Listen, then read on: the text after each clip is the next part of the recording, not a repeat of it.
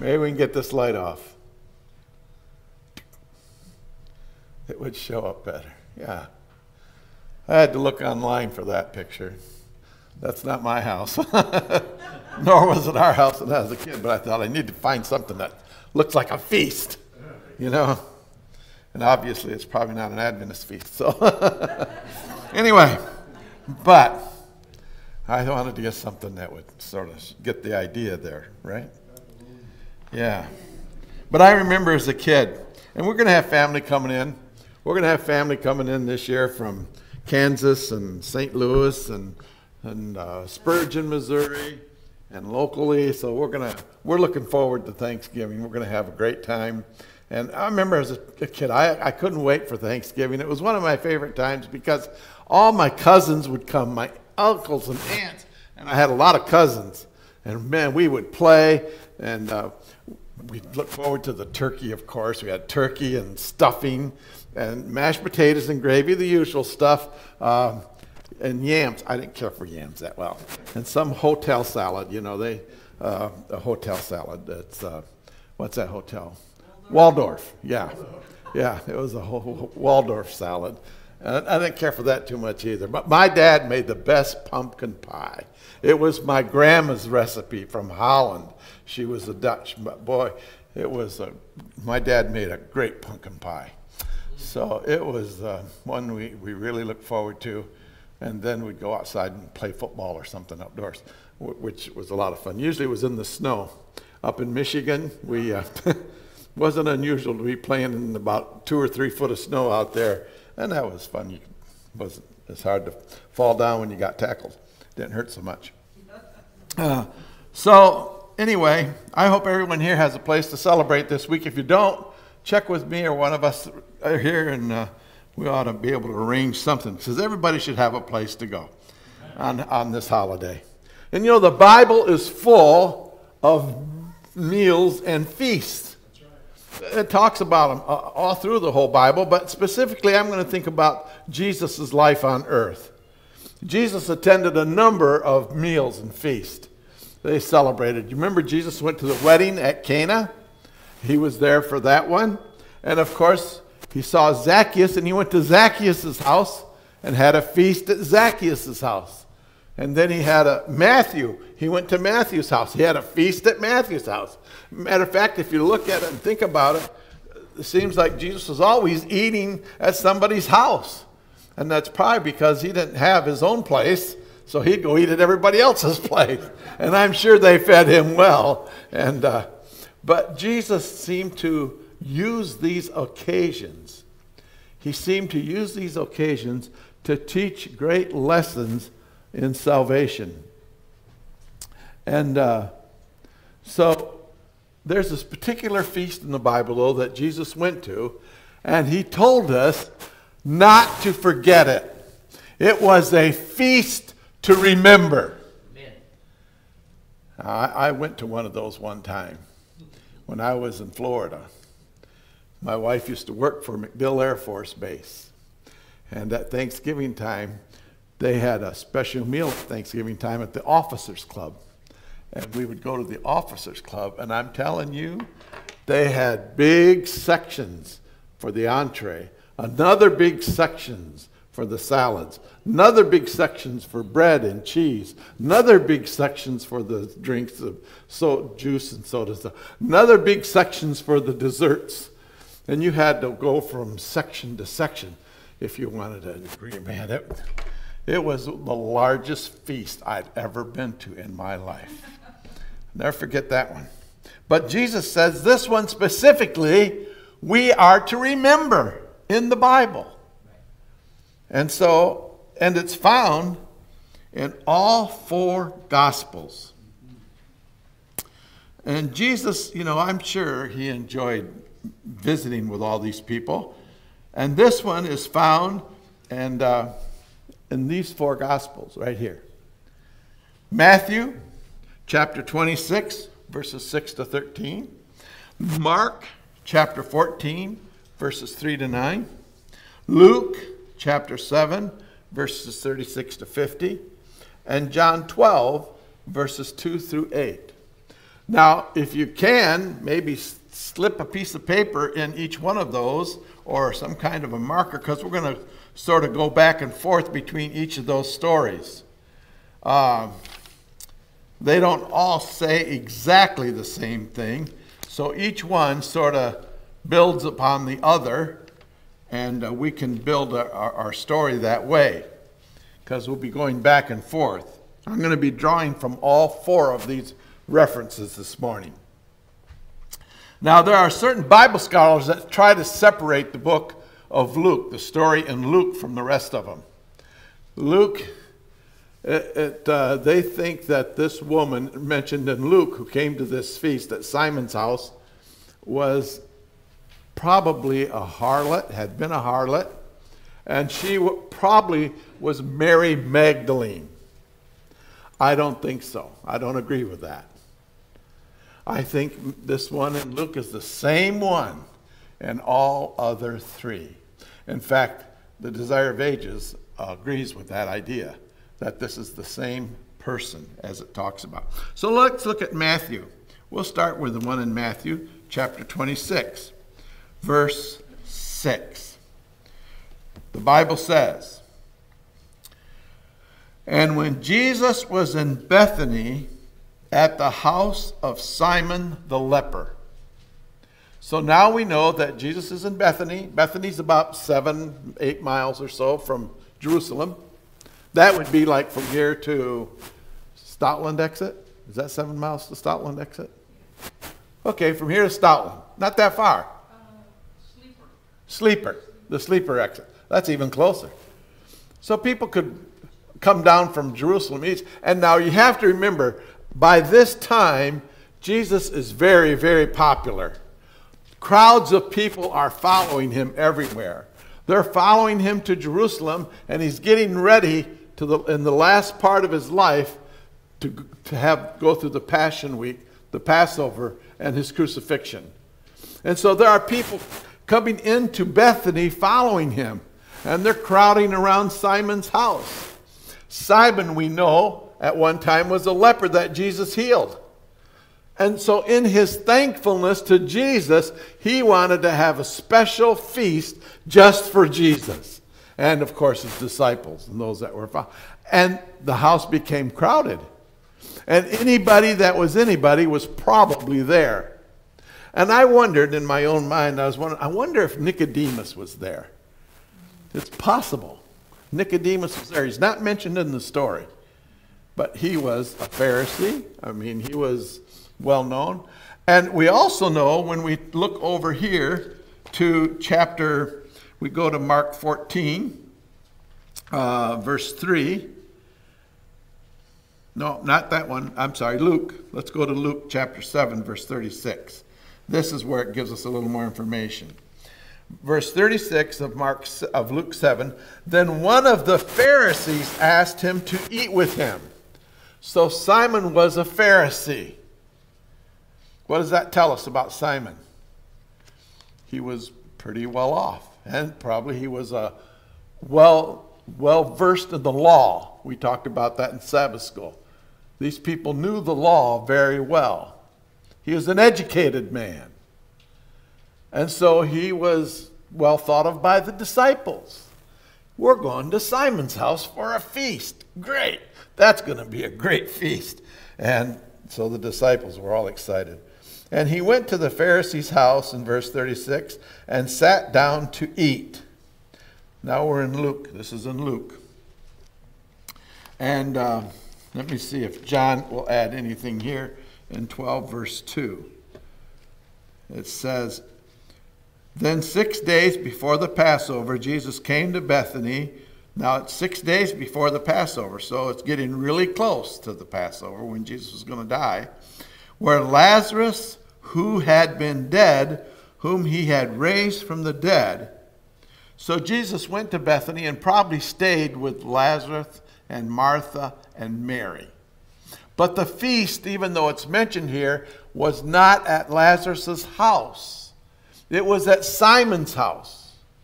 So they probably bought a, brought a potluck or something like that dish with them because it says, There they made him a supper, and Martha served, but Lazarus was one of those who sat at the table with him. Now, this is important because Lazarus has already been raised from the dead. Okay? There was a lot of people who knew Lazarus. There was a lot of people who knew that Lazarus had been raised from the dead. Would you like to have seen someone who came back from the dead? Yeah. How would you like to go to a, a, a meal where there's going to be somebody that God, that Jesus raised up? And they, they probably asked him questions. What was it like? Lazarus. What happened when you died? What was it like? Did you see any angels? Did you go to heaven? Or Lazarus didn't tell him anything because he didn't see anything. He was dead. So he didn't have a, a lot to tell them. But boy, what a story to tell him when he walked out of that tomb and he saw Jesus. Yeah, he was a pretty popular guy there. We're also told that there were other Pharisees there that were planning the death of Jesus. But they had to be real careful because Jesus was so popular and Lazarus so, so popular that they couldn't touch him or they knew these people would rebel against them in a big way. So a number of the Pharisees that were there and a number of those people who were spying on Jesus trying to trap him were thinking of a way that they could kill him. But they knew that in order to kill Jesus, they were also going to have to kill Lazarus. So they were plotting the death of Lazarus too at the same time. So, this is what's taking place at this, this party. And um, so they sit down to eat. Here. Let's see, I gotta get find, find my place here, 12 verse 2. And, the, and Mar- Martha, of course, was very busy serving. And then it says in verse uh, in Mark chapter uh, 14, verse 3. And being in Bethany at the house of Simon the leper, as he sat at the table, a woman came having an alabaster flask of very costly oil of spikenard. You know, I'd often wondered what spikenard would smell like. Have you ever smelled spikenard, anybody? I haven't either. I looked it up in the dictionary or in the encyclopedia, and it's supposed to be very costly and, of course, very fragrant. And alabaster is a very soft, beautiful, ivory type looking uh, bottle that could be carved into different things. This was so costly they said that this was about a year's wages, a year's wages for this bottle of perfume. And everybody's crowded, everybody's gathered around, standing around, talking and eating, and it's probably shoulder to shoulder as they're bumping, you know, at some of these kind of parties you go to, or some of these kind of feasts where they're like that. And I mean, it wasn't just a few people there, it was really crowded. So Mary because of her, it's actually, it just says a woman, it doesn't say Mary.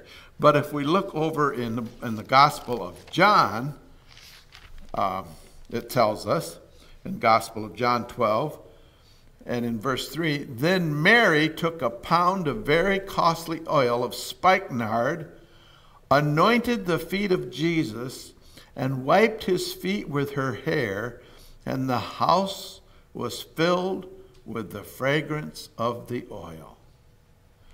She also says in the other three Gospels, it says she poured some on his head. Now, she could probably get down on the floor, and I'm sure with all those people walking around and talking about anything and everything, and she could probably, with her tears, I'm sure, dripping on the feet of Jesus, she was down there wiping her feet with her long hair weeping, thanking him for what he had done for her. So, what did Jesus do for Mary? Forgave her. Forgave her sins. Yeah. This is the sister to Lazarus, the sister to Martha. Mary, who you would think was, I mean, Lazarus and Martha were upstanding, uh, godlike people. And here was Mary from their home who was demon possessed. Not only did God cast out demons out of her one time, but seven different times he cast demons out of Mary. Now, I don't know about you. Maybe you were raised in a, a home that uh, was very upright and well, well, good standing in the community and so forth. I wasn't. Uh, my family, we've got a rather little sordid history. My mom, she had a problem with alcohol. She was an alcoholic most of my life, and uh, so were her sisters. I've had uh, two. I've had two cousins. Um, I'm sorry. I've had two nephews that spent quite a bit of time in prison, and I still have a cousin who's in prison right now, uh, and he'll be there for quite a while. And I just called Voice of Prophecy or uh, Amazing Facts the other day to try to get him some Bible studies over to where he's in prison. And so, yeah. In fact, I remember my Uncle Bill. My Uncle Bill, we lived out in the country. And uh, not, it was in Michigan. So there's a lot of trees, not a lot of fields where we lived. So there's a lot of trees out there. And one of the road that went to our house had one main round curve on it. And my Uncle Bill, he could play the trumpet really great when he wasn't drunk. And he was drunk a lot of the time. He was married to my Aunt Marie. And I remember one night, it was usually on a Friday night, someone banging at the door. And it was my Uncle Bill, all bloodied and all. And we said, What happened? Well, I was coming around that curve, which is about a half a mile from our house, and he missed the curve and hit a tree. So dad, mom fixed him up, told us kids to go to bed. It wasn't two months later. There's Uncle Bill, all bloody. What happened? He hit the same tree. He hit the same tree, and he was just as drunk as he was the last time. And I couldn't believe it, and my dad couldn't believe it. So they fixed him up, patched him up, and told him and took him home. He couldn't drive, obviously. And then there was oh, probably sometime later, I think about six months later or so, my dad got my mom got a phone call. It was my aunt Marie. You got to get over here. Bill is drunk and he's gonna he's beating me. He's he's gonna be. My dad was so. This is on a Friday night. It always happened on Friday night when we were getting ready for Sabbath. And of course, Dad, he was uh, our church. We had a big church of about 300 people, and Dad was a, one of the adult Sabbath school teachers in the, in the church.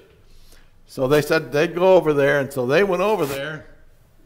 And Uncle Bill, he was really having a temper tantrum, and he could hardly stand up. And he threatened to hit my dad with a beer bottle. He picked up an empty beer bottle, and he went to swing it at my father.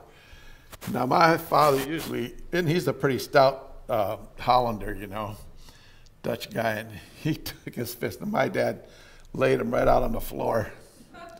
And my dad never done anything like that before. And uh, he, then Uncle Bill slept good that night. Um, but my dad's hand swelled up like a, it just swelled right up. And he come home to us kids and he says, now, don't you guys say anything at church tomorrow about how come my hand is swelled up. And I couldn't wait to tell my friends. You won't believe what my dad did. He knocked Uncle Bill out last night. But he didn't want us to say anything. Uh, well, that's my family history. and it goes a little bit like that. So I can relate to the story of Mary. I relate to Mary. And it's interesting, this quotation, how our families are sometimes. But uh, this quotation from the Spirit of Prophecy Mary had been looked upon as a great sinner. But Christ knew the circumstance that had circumstances that had shaped her life. He might have extinguished every spark of hope in her soul, but he did not. Now you have to remember, in, in Simon's mind, the, the one who was having the uh, party, when he saw what was happening, and we're going to go to, I'm going to go back to Luke for this. And uh, as soon as I can find it right here, Luke chapter 7, he says,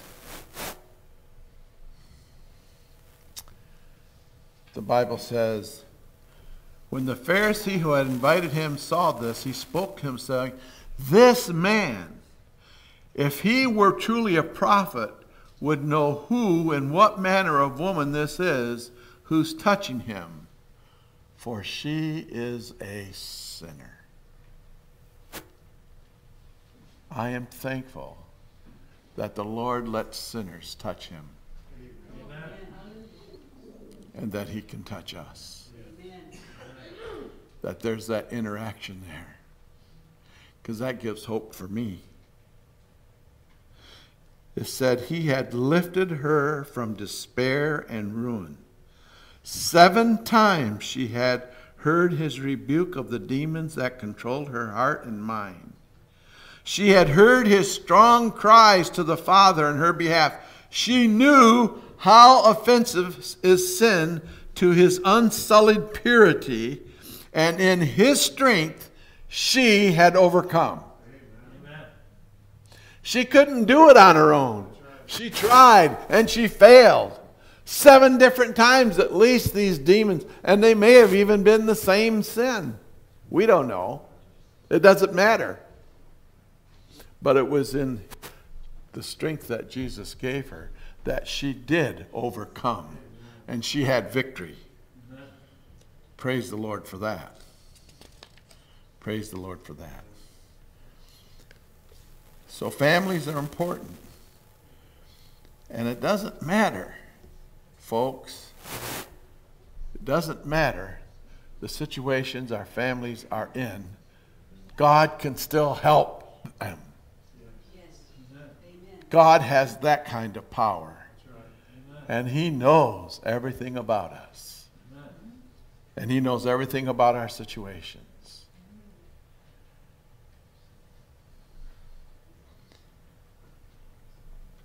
And so what happens? So in verse 40 of chapter 7 of Luke, Jesus answered and said to him, knowing what he was thinking, Simon, I have something to say to you. Teacher, say it. What is it? Tell me. There was a certain creditor who had two debtors who owed 500 denarii and the other owed 50.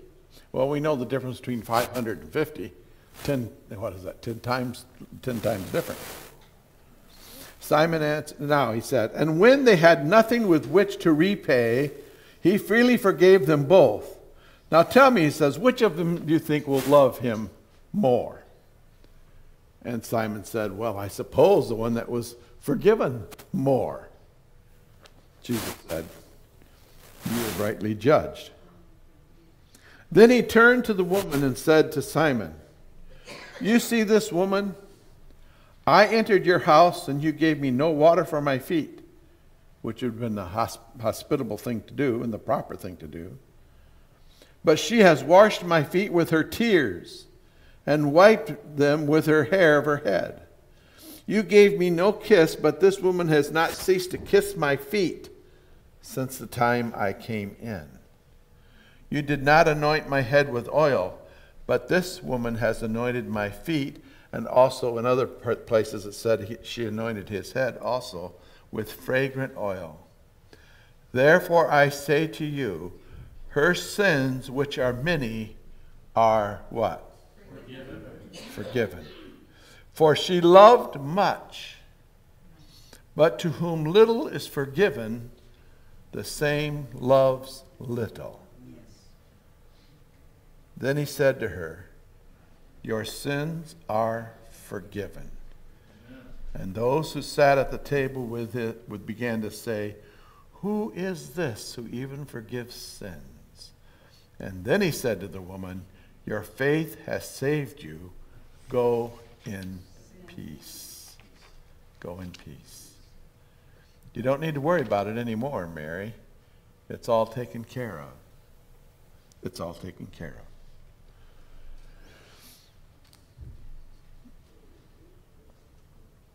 Forgiveness.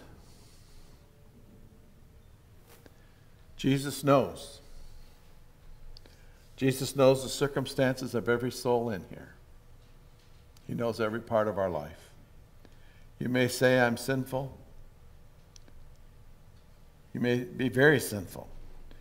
I'm sure there's things about you that nobody knows. There's things about me nobody knows or that I would want them to know.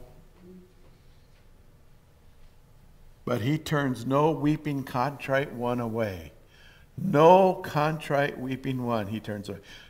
He does not tell any all that he might reveal, but he bids every trembling soul take courage. Freely will he pardon all, all who come to him forgiveness, for forgiveness and restoration. The sad part of the story is this. The person that Jesus was forgiving the most was not Mary. It was Simon. Because Simon was the one that led Mary into sin. He got her started in this whole mess to begin with. But now he's playing like he's who me, you know? What what I do? You know. And he's the host of the party. But Jesus could read Simon's heart. And you know what's so amazing about all this? Jesus, knowing how, what Simon had done, and that he was the one that led Mary into sin, did not expose Simon to anybody else in the room. Amen. Amen. He didn't say, hey, let me tell you folk about this guy. You know, there were other people like Judas in the room too who said, they at different times said, whoa, we could have sold this. We could have sold this for 300 pence or whatever, denarii, and we could have given it to the poor. Judas didn't want to give the money to the poor. He's the purse keeper. We also know that he was a thief. Judas was a thief, the one whose feet Jesus washed and wanted him in his kingdom, one of the disciples. And so all the other people were also sort of putting this whole act down. But Jesus did not expose Simon before the people. He was trying to reach out to Simon to touch his heart. And there's a lesson in that for us, folk. Let me. Did I finish this? Let me. I think I did. Yeah. Read this one here. Simon was touched by what? Kindness. The kindness of Jesus and not openly rebuking him before the guests. He had not been treated as he desired Mary to be treated. He saw that Jesus did not wish to expose his guilt to others, but sought by a true statement of the case to convince his mind and by pitying kindness to subdue his, his heart. Stern denunciation would have hardened Simon against repentance, but patient admonition convinced him of his error. He saw the magnitude of the debt which he owed his Lord. His pride was humbled. He repented, and the proud Pharisee became a lowly, self sacrificing disciple. Amen. Jesus is to won him over. Folks, do we do that in our everyday contact with one another in the church? I'm not thinking outside the church. I think sometimes we treat people outside the church better than we treat people in the church. I think we need to be more patient and more kind with the folk here in the church, with each other, and with our families. I know sometimes we're rough on our families.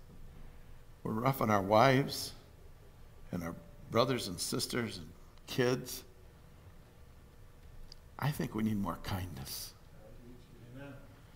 more patience, and less pride. I need to ask you guys to get, help me to forgive the lady that was in my house that took from me, because there's nothing God can't do. And And that's right. restore everything to what He wants done. And God can do that. pray that He will bring them to Him. And we all need to do that. We all need to pray for one another like that. Amen. When I was a kid, I was a pathfinder. And you ever gone on one of those 50 mi- You might have heard this story. That's okay if you hear it again. Some of you haven't heard it, so I'm going to tell it. We're going on a 50 mile bike hike, and you had to go on a 50 mile bike hike to get your honor. That's all I needed. I had already assembled and disassembled and reassembled the bike and all that, and I knew the parts and all that. All I lacked was a 50 mile bike hike. So the church got together. Oh, there must have been about 25 of us or, or more. Might have been more than that. We had a big old group of cyclists. And we were going to go 25 miles to this park, have lunch at the park, turn around, and then come back 25 miles. And that gets our, our, our, our my, my badge, my honor. And so it was fun. Oh, it was great. All the way there. Of course, as kids, us guys, we try to outdo each other and get ahead, of course, and then the uh, counselors try to, hey, get back here. And so they try to keep you all corralled because there's also traffic going up and down this road. It was a highway, but it wasn't the main highway. And so, anyway, we finally got to the park. And of course, there was a, a, a, a car following that brought the lunches and everything with them. So they set out and we did our lunches and had our sack lunches and everything like that. And of course, the first thing you do when you go to a new place with Pathfinders and kids, you go exploring. You want to go exploring. So, us guys, we went exploring up into the woods. Nice park, you know, picnic tables and everything, but they had a nice hill there. There was some hills and woods. So, we wanted to go up into the woods and we were doing some exploring. And we found this tree, this big tree, and it had this long vine hanging down. You know, vines off a tree. And the bottom part of that vine was sort of white. And you could tell it had been well used by other explorers. And so, as the kids were grabbing onto that vine and they were swinging out there and swinging back, next one got onto the vine, he swung way out there. Now, the hill's going down like this, so you're swinging out over the hill, you know, and then you swing back, and then next person, and so forth. And then it became a contest who could swing out the farthest. I said, I can swing out and touch that tree. No! I said, You watch me. yeah, I did. I swung out there and I touched that tree and I said, Geronimo. That's what I said, Geronimo. And I went right on past that tree and kept right on going. In space, it was a long way because it was a long way down. My, my, my hand slipped right off of the end of that. Everybody was dead quiet. Bam! I hit the ground, rolled over, and I wasn't breathing. I landed on my back and knocked the wind out of me for sure, and I was unconscious. They ran and got my dad, who was a counselor, and he came over and he was lifting my waist, my leg. He was doing what they do for football players, I guess, lifting my my belly up or my waist up and trying to get me breathing again. And finally, I coughed and I got breathing again. But I couldn't ride back. there went my honor right out the window. A little bit of pride, I lost my honor. Put me in the car. It was a wagon. It was a, a, a car was the, used to have the uh, wagons, you know, station wagon. And uh, about halfway back, I said, I don't feel so good.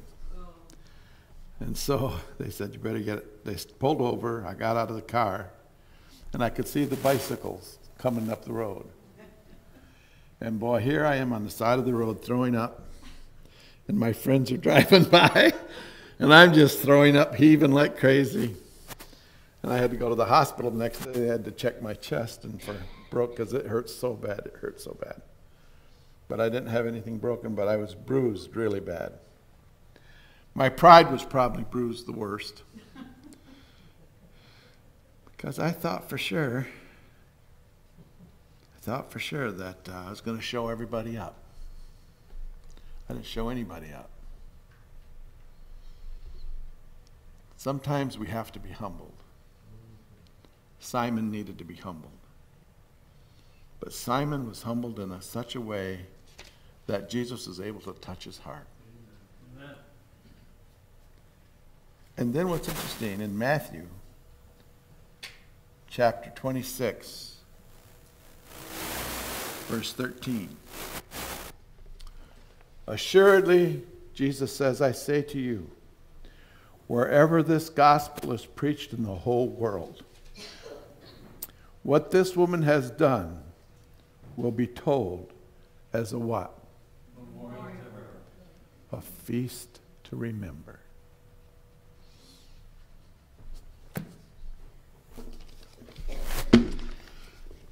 Let's turn to our closing song, number 540.